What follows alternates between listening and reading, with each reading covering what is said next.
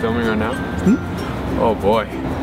Unconventional, so not usual. Um, Unconventional. Hmm. That's a that's a tough one. I'm thankful for a lot of things. I'm thankful for college, classes, waterproof boots. I'm grateful for would probably be the snow because it gives me water for boating during the summer. I'm thankful for the mountains and a campus you can see them from. I'm really thankful for Wi-Fi. Fireplaces. It's really nice. Moose. Moose are are just cool. Like I'm very grateful for them. Moose Meese. Moose? Moose. Moose. Maybe shoes. I'm great. I'm grateful for shoes. Uh, I'm grateful for good haircuts. I'm good. Grateful for hippies.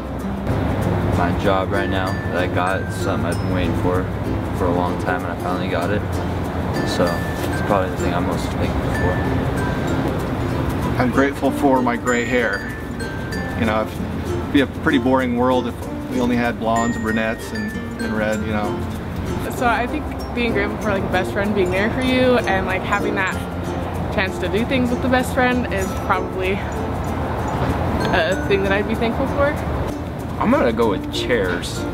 Like, honestly, some of the best feelings ever is coming home from work or school or anything and just sitting in a nice comfy chair.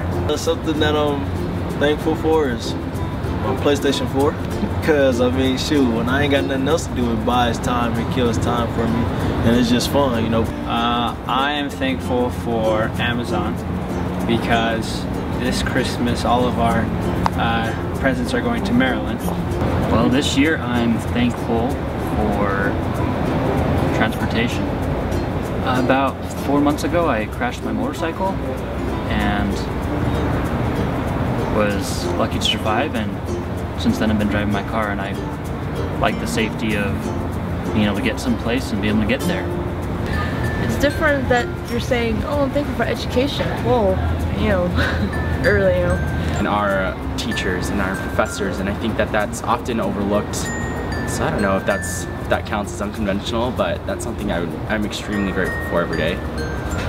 So even coming back to school and redoing stuff, I'm just thankful that it just becomes a new part of me and I change with it. Just being able to have time and people supporting me to come up here to get my education done has meant the world to me and I'm very, very thankful for it. I'm gonna cry.